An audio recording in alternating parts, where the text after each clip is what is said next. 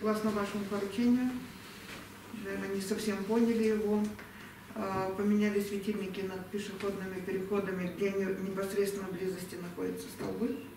Опоры по улице Николая Ярко, улица Гагарина. А Светильники позволили улучшить освещение пешеходных переходов, но не достигли э, требуемого уровня освещенности, который бы э, хотелось видеть согласно нормативу. Значит, э, подряд, обслуживающая организация дано задание приобрести, возможно, светильники направленного света для пешеходных переходов. Э, Попробуем опустить их ниже на существующие столбы, либо, возможно, на те кронштейны, если возможно, будет прикрепить. Нет, будем менять, если не получится, будем менять светильники, опять же, на мощность в два раза больше, чтобы с целью выделения пешеходного перехода из общей массы освещения. Вот таким образом.